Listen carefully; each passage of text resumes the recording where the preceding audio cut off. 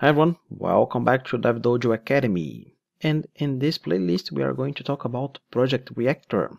So the Project Reactor Essentials is a training that I'm creating because I would like to create a playlist about uh, Spring Web Flux.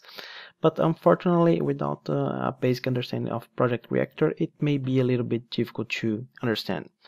So the Project Reactor Essentials, we will cover several concepts about what this has to offer so it, it, will be more like a tutorial style where we are going to see how we work with mono, flux, some operators, how we concat uh, streams and so on. So it will give you a nice understanding about how the project reactor works. And uh, this presentation is because, well, we need a couple of things before we start digging into code. So I'm just going to scratch the basics of uh, reactive programming and I highly advise you to read about the concepts because we are going to get into code uh, starting from the next video. So just talking a little bit about reactive. So what is reactive programming? So it's not related to Project Reactor yet, is what is reactive programming. So basically reactive programming is just about the concept, it's not about the implementation. And when we talk about reactive, we are talking about event. So in React, uh, programming you have something that's going to trigger an event and you have something that is going to consume that event. And reactive programming is about data streams so we will see data streams everywhere. So when you are uh, using reactive programming data streams are going to be the spine of your application. So events messages calls and even failures are going to be uh, translated into a data stream so basically in your code you are going to create data streams of anything. So I mean events, uh, click events, for example, hover events, HTTP requests, ingested messages, availability notifications, changes on variable caches, measures from sensor, anything that may happen in your system will be translated into uh, an stream. So this has an interesting side effect that your uh, application will become asynchronous. And as you can see here, the next step is that when we talk about reactive programming, we are talking about asynchronous programming. So in Java, we have some asynchronous uh, libraries. For example, we could use thread pools, fork join, parallel streams, completable future. But when we are talking about reactive, they are a little bit different because they also should be non-blocking. So we have uh, four concepts. We have asynchronous, no blocking, uh, we have uh, back pressure, and we have functional declarative programming. So non-blocking, it means that once you have a thread working, uh, that thread will not be blocked. So imagine that you are executing a request to a database. So if you watched uh, the Spring Boot Essentials, you saw that we were connecting to a database, and until we get a response from the database, that thread will be blocked means that we are wasting resources because the thread is not doing anything. Who is doing the work is the database. So with non-blocking, that thread could do something completely different. And when we get the response back, we just create another thread to finish the work. And uh, back pressure is something that uh, is useful when your let's say your subscriber cannot handle the pressure. So imagine that you have a cake factory. That cake factory, you have someone that's baking the the, the cakes and you have someone that's consuming those cakes. So imagine that you can bake uh, 10 cakes per minute but someone consuming that cake can only uh, take one cake per minute. It means that if you try to send those 10 cakes the subscriber uh, probably will blow.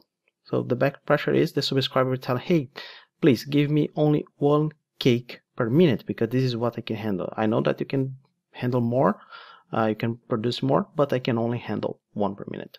And functional uh, declarative programming it's about the pure functions lambda expressions immutability a code that's testable a code that's maintainable. So one thing that you should be uh, should have in mind is that uh, reactive programming is not easy. So you have to be really careful like Uncle Ben uh, said to Peter Parker with great powers comes great responsibility. And this is perfect for reactive programming. And when we talk about React, we have this word that's cold and hot. So we have, uh, when we are talking about events, we usually have observables that's observing something that's happening, happening, and we have the observables that can be hot or cold or cold or hot. So the difference is the cold are the lazy ones. So what do I mean by lazy? They do not do anything until someone starts observing them. So they will only start running when they are consumed. So cold streams are used to represent asynchronous actions. So for example, uh, imagine that you have a file and this file won't be downloaded until someone goes there and start subscribing to the publisher that will publish that file. And the hot ones are the hard workers. Hot uh, are active even before the subscription uh, happens. So imagine, for example, that you have a sensor that is always transmitting data. It doesn't matter if you have someone subscribed or not, you will always have that data. So it means that you will only get the data at the moment that you subscribe. Everything that um, happened before will probably uh, be lost.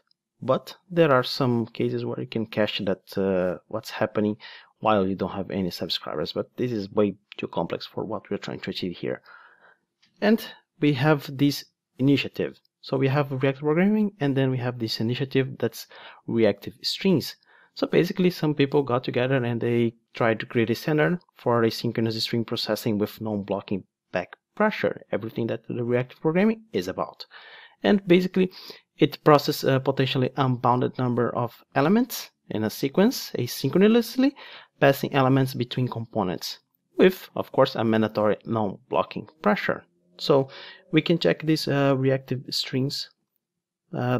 Uh, so this is all the information, and you can see here at uh, when we had we got the release from Java 9, we have this concurrent flow. So don't get confused about uh, Java streams and reactive streams. They are totally unrelated.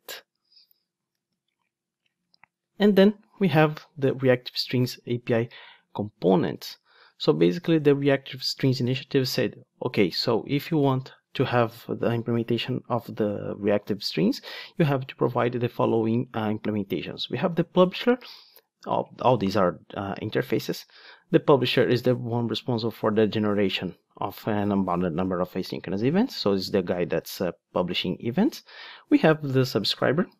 As you can see, subscriber is the one that will consume those events and we have this subscription. So think as a subscription as a context kind of object that will be shared between the publisher and subscriber because this subscription is the one for example every time the subscriber will go to the publisher hey i'm subscribing to you it will create a subscription and for example if you want to say hey i would like only one cake per minute because i cannot handle more you are going to tell to the subscription so the subscriber will tell the subscription that will be sent when you are uh, going to the, the publisher. So the publisher will only give you one cake per minute. And we have uh, this one, the next one, that's the processor. So processor, it's a bit complex because it represents a stage of data that's uh, processing between a subscriber and a publisher. So it means that's bound by both. So it has to obey the contract between the publisher and the subscriber. So this is a, a bit kind of difficult to understand when you don't code, but once we get down to code, it will be easier to, to see what we are uh, talking here. So just remember for now, publisher, subscriber, subscription. Forget about the processor for a while. And we have the APIs, we have the standard, and we will need an implementation. And here we are going with Project Reactor. So Project Reactor is one of uh, many implementations of these streams. You could use RX uh, Java, for example, is another option. But, well, we are trying to keep it simple because Spring Web Flux is using this one by default. So in the end, they all have uh, advantages and disadvantages. And uh, that's actually not part of the, the purpose of this training. So we are just going to use Project Reactor. Nothing special about it, just because uh, Spring Web Flux is using out of the box. And Reactor, it's um, fully non-blocking and provides uh, efficient man management. Everything you see here you can get from the website. And uh, offer two reactive and composable APIs. We are going to talk a lot about these two, Flux and Mono. Just think if you are talking about non-reactive way, Flux is kind of a list of elements and Mono is just like an, an option or just a simple object or void in that case. And um, well, since it's working with uh, Spring, uh, you can imagine that's re uh, really well suitable for microservices architecture. and offers, of course, since it's implementing the reactive streams, the back pressure ready. So we have this back pressure ready network for HTTP, TCP, and UDP as well. And uh, it provides a wide range of operators. This is what will make our life easier when working with uh, reactive programming. So we are going to use these operators a lot. So as you can see, it allows us to filter, select, transform, and combine streams. You can check more details inside uh, the website projectreactor.io. Their documentation is pretty nice, open sourced. Everybody can uh, update the documentation if they see any errors. So I think that's uh, all information that I wanted to share. Of course, we're going to get into more details when we start coding, and I think it's about time get down to code. So see you in the next video. Bye.